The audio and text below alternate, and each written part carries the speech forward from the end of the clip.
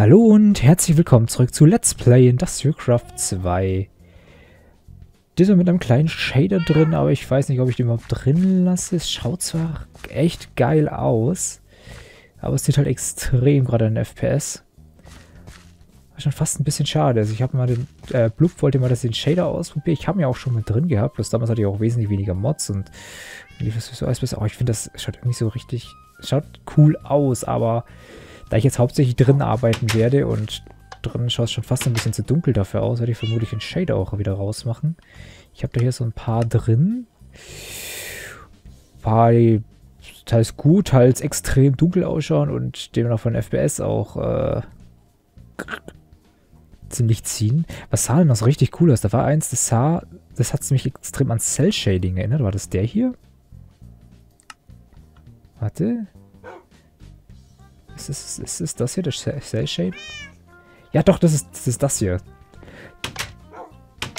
Huch. Hat extrem diese Tiefen und Schärfe und es hat auch dieses, so ein Cell-Shading-Effekt. Das finde ich, das sah richtig geil aus beim Ausprobieren. Ich finde, das Wasser schaut auch so hammergeil aus. Alter, aber ich weiß nicht, Cell-Shading ist viel vielleicht so ein bisschen übertrieben, auch wenn es irgendwie cool ist. Alter, wie das hinten ausschaut. Aber ich finde das Wasser halt so mega geil. Oder oh, was haben wir noch so Schönes? Was, ich, genau, ne, die Soys, die, die waren nicht, nicht so schön, glaube ich. Oder nehmen wir mal einen. Dann nehmen wir vielleicht den Standard, nicht vielleicht gerade den Ultra. Der ist schon, der ist so extrem dunkel. Vor allem, wenn man jetzt drin, wenn ich drin bin, dann das sieht man halt gar nichts mehr. Es schaut halt, das Licht schaut halt richtig geil aus, aber so für dunkle Orte ist es natürlich nicht gedacht. Da kann man das vergessen. Da, hier werden auch die Gläser nicht richtig dargestellt, aber das leuchtet halt richtig geil. Lichter kommen halt hier richtig gut rüber. Ansonsten ist das Ding eher ungeeignet. Ich mache mal kurz Tag, vielleicht können wir noch ein paar Shader ausprobieren. Dann können wir sagen, vielleicht benutze ich doch was, obwohl...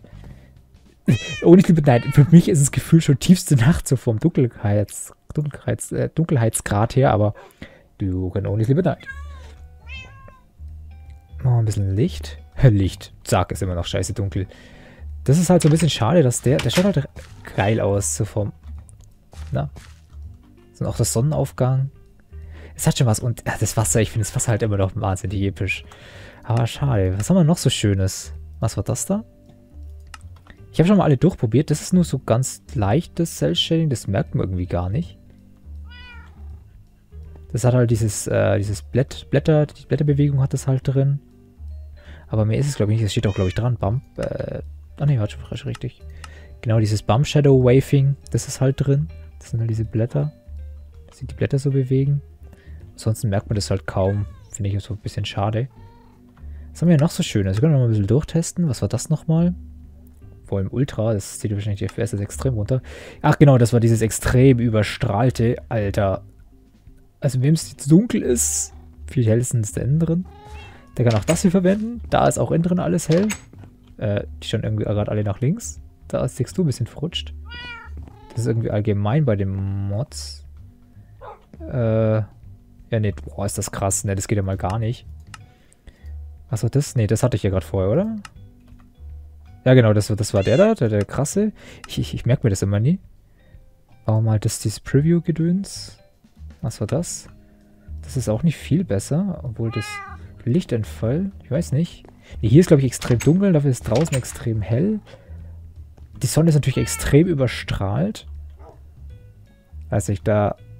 Es, es, schaut schon irgendwie geil aus, muss ich sagen, aber ich finde auch, find auch das halt so richtig geil. Aber ich glaube, wenn, dann könnte ich vielleicht mich überreden, vielleicht mal eine Weile mit dem hier zu spielen. Den finde ich eigentlich noch ganz angenehm, der ist jetzt nicht so extrem. Shading ist trotzdem ein bisschen leicht drin, man merkt es auch. Wasser hat jetzt nicht diesen krassen Effekt. Krassen Spielungseffekt, finde ich ein bisschen schade. Vielleicht nehmen wir mal einen höheren, nicht den Low. Was ist, wie gut ist der Medium? Was ändert der so? Merkt man das mit dem Wasser schon? Das da ist das Wasser jetzt ein bisschen mehr. Gespiegelt, da bewegt sich auch. Weiß ich nicht. Könnt ihr eh mal sagen, ob ich ein bisschen mit Shader spiele. Ich mache mal den Low jetzt wieder rein. Finde eigentlich auch ganz nett. Ne, da bewegt sich das Wasser, aber hat keine Spiegelung drin. Aber wo ist jetzt für drin? Wir werden jetzt weiter noch drin arbeiten. Ich glaube, dass der Shader sowieso schwach sind. Dann machen wir mal wieder den Shader raus. So, dann spielen wir wieder ohne Shader weiter. Können wir sagen, wenn ich so ein bisschen draußen bin, also wenn ich draußen was mache, ob ich da vielleicht mit einem Shader reinhauen soll. Und wenn ja, welcher euch jetzt am besten gefallen hat. War jetzt ein bisschen zum Schnelldurchlauf, müsst ihr ein bisschen zurückspulen und schauen, ähm, was da am besten war. Was ich jetzt hier noch vorhatte ist, weil ich hier irgendwie so extrem wenig Platz habe, dass ich die Tinkers Construct-Ecke hier mal verschiebe. In den neuen Ab neues Hausabteil drüben. Damit ich ein bisschen mehr Platz habe. Jetzt haben wir hier Crafting Station. So, Stencil Table. Äh, was wir da hin? Part Builder. Tool Forge hier. So, jetzt hätte ich gleich mein Inventar zumüllen mit lauter Stencils, die ich gar nicht alle ins Inventar kriege. Ah, das Wichtigste habe ich natürlich jetzt nicht dabei. Scheiße. Ähm...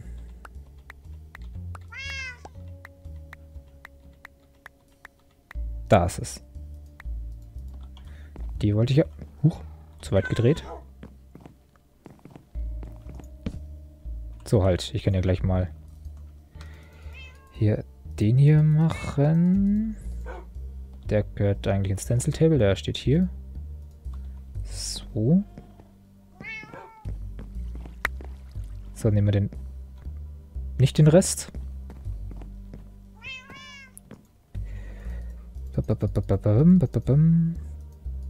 So. Einen haben wir noch.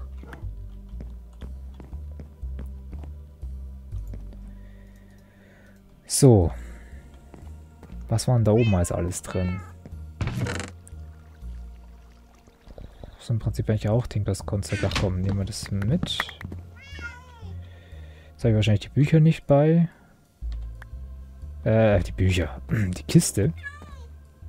Jetzt habe ich auch ein bisschen mehr Platz, kann ich auch sagen. Ich stelle hier die Kiste hin. Schmeißen jetzt erstmal alles rein. Sortieren können wir danach immer noch. Aluminum.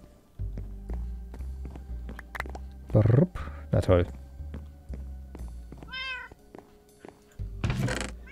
Das weg, das weg, das weg, das weg. Pack das mal kurz dahin. Warum habe ich eigentlich Gummi dabei? Ich habe da noch irgendwas gecraftet. Zack, können wir es mal da rein. Hä? Ich bin doch gerade gesprungen. Anscheinend nicht. Äh, was will ich denn da? War es gerade die Gewohnheit, weil ich vorhin immer da rein, da, dahin musste. So, was ist jetzt? Wer müsste eigentlich? So, wer hat mir das jetzt geschrieben? Ich weiß es jetzt nicht mehr, tut mir leid. Ähm, dass es eigentlich reicht, wenn ich Extruder und äh, den, den Rolling, die Rolling Machine, äh, Extruder und Roller theoretisch hätte. Müsste ich halt jetzt das Rezept abändern. Zu... Ja, was mache ich denn da? Muss ja dahin? Hier? Halt nein. So, dann muss der hier weg. Ähm, wie war das? Ich kann hier... Copper... Ich kann ja nicht mit dem hier machen. Das einmal ein U. Dann das Ganze mit dem... Hä, warum ist der Metalform jetzt nicht da drin? Ach nein, ich meine, wie macht man das? Nicht was macht man damit. Die Extruding-Methode. Äh, kann ich das... Das kann ich nicht so reinmachen. Shit, da brauche ich dann doch wirklich die Teile. Habe ich noch so eine äh, Copperplate? Copperplate, gerade noch eine vorhanden. Ach Schmarrn, ich brauche ja direkt Kupfer. Nehmen vielleicht so ein. Das ist ja, glaube ich, gerade egal, wie ich das mache. So. Ja, scheiße. Jetzt brauche ich noch... Ach, ich hätte ja... Ach nee, das ist... Ach, ich habe hier noch Ardite. Ach, das muss man weg, äh, weg, wegwerfen. Loswerden. Copper. Da haben wir noch einen. Schmarrn, das sind drei. Obwohl, das kann ich ja... Wie viel kriege ich da raus nochmal? Ah, jetzt aber. Shapeless, Macerator, Metal Form, Extruding kriege ich drei raus. Also auch. Drei Encode. Hoch. So, und der gehört jetzt da rein. Die Rezepte passen ja trotzdem. Okay, habe ich eigentlich schon Cable? Craftable gemacht? Anscheinend, ja. Okay, gut, gut, gut. Jetzt bin ich hier immer noch so voll. Warum? Weil der Kobbel nicht so schnell weggeht. Habe ich noch... Nope, habe ich nicht. Aber ich könnte noch einen Macerator... Ach, ich habe Kobbel dabei gehabt, oder? Ja. Ich könnte noch einen Macerator, aber hier... Äh, Macerator, einen Recycler hier dann wohl umstellen. Zum Beispiel der hier hat nichts zu tun. Das ist der mit dem Stone Dust. Da, das Sandstone habe ich ja wahrscheinlich gar nicht mehr. Deswegen ändern wir das mal kurz um. Geht es schneller voran. Der Macerator hat ja gerade gar nichts zu tun. Der kriegt wahrscheinlich später ein Interface und dann schicke ich das einfach runter. Habe ich noch? Kann ich gleich schauen, ob ich Interfaces habe. Ich könnte aber natürlich erst noch das Ader loswerden, das ich hier habe. Machen wir das mal so. Sonst irgendwas, was ich hier gerade nicht brauche. Ich habe noch zwei Upgrades. Den Circuit kann ich auch mal ins System schmeißen, die Batterien auch. Keine so langsam ins System umziehen. Ich traue mich bloß immer noch nicht so richtig. Aber wie viel ich von denen schon wieder habe, ist ja fast unverschämt. Zack, schmeißen wir die wieder rein. So. Dann mal überlegen. Ich habe inzwischen mehr Keys als Kabel. Ja, super. So, dann will, wie viele Interfaces habe ich denn noch? Interface. Ach ja, äh, Ratzfass hat, glaube ich, geschrieben, ähm, dass eventuell der Basic-Prozessor hier im Interface verschwunden ist. Das kann gut sein. Habe ich wahrscheinlich nicht aufgepasst, dass hier noch was machen will. Ähm ich glaube, mir ist das Quarz auch ausgegangen, gell? Ich habe nur noch 21, das geht ja noch. Aber Gold habe ich gerade gar nicht, gell? Gold 15. Gar nicht ist jetzt was anderes. Äh, wie schaut es denn hier aus? Meiner Goldschmiede? 5. Ist jetzt nicht so viel, liegt vielleicht ein bisschen auch am Juju. Muss ich hier noch stromen? Ah, ich habe doch ein paar Solarpanels noch gehabt. Die könnte ich, die könnte ich nicht, nur die sollte ich hier sogar anschließen.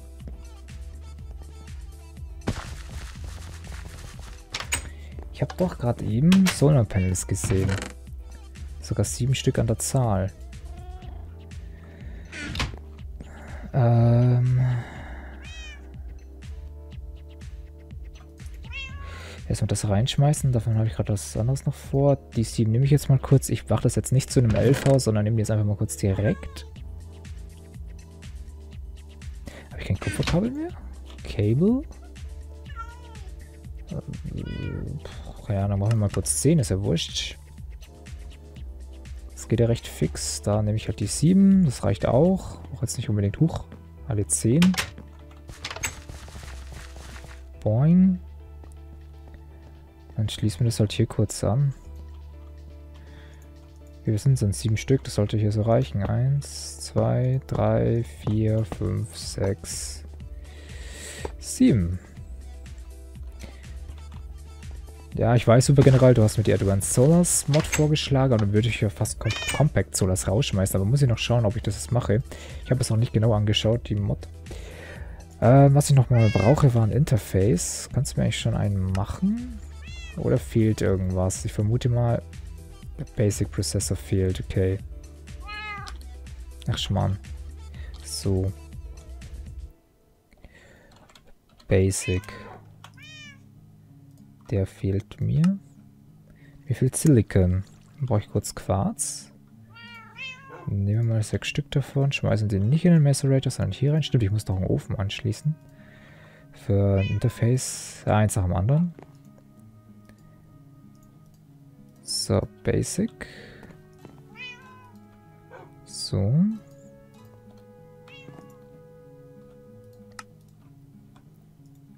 So, dann müsste ich jetzt ein Interface dran haben, oder? Jo, läuft. Wo wollte ich den anschließen? Nachdem ich im Bett war? Shader Error? Was? Gab es da einfach einen Fehler? Ach, beim Macerator wollte ich den anschließen. Schon mal. Der Out... Ach, scheiße, den Output habe ich aber auch weggetan. Ich weiß, mit dem Creeds and Hammer ging das auch. Andere Richtung. So, hier sind noch nicht alle Erze drin. Genau, hier fehlt zum Beispiel auch Golderz. Genau, es wird gleich mal hier in Pulverizer gesteckt. Perfekt. Habe ich dann hier eigentlich alles? Gold, Eisen, Kupfer, Zinn. Silber fehlt zum Beispiel.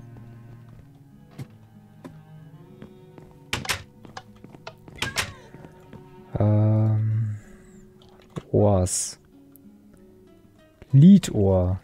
Liedohr wollte ich ja doch wieder über den Macerator laufen lassen, den ich jetzt abgesteckt habe. Ja. Hm. Egal. Dann, huch. Boah, ist hier dunkel. Warum ist eigentlich so dunkel? Ja, ich soll die Abmoderation mal im F5-Modus probieren. Schaut lustig aus. Ähm, warum ist denn hier so dunkel? Warum ist denn mein Ding so dunkel? Weil es draußen so dunkel ist? Ich kläre das gleich, warum es so dunkel ist. Dann mache ich es halt jetzt mal kurz im Dunkeln. Schaut das komisch aus. Habe ich irgendwas? Egal. Gut, das nächste Mal. Also ich will jetzt noch den, demnächst die Maschine da so fertig kriegen, Interfaces draufpacken, sodass ich ein, äh, und dann mit den Rezepten, die automatische Crafting-Rezepte nach und nach einfügen kann. Die Mining Tour wird noch folgen, aber nicht diese Aufnahmesession, weil ich brauche unbedingt Folgen. Weil heute ist Freitag, morgen muss schon die erste wieder raus. Ähm, ja, deswegen muss ich jetzt auch beenden, um dann direkt wieder weitermachen zu können. Und wir sehen uns dann gleich wieder. Bis dann. Ciao.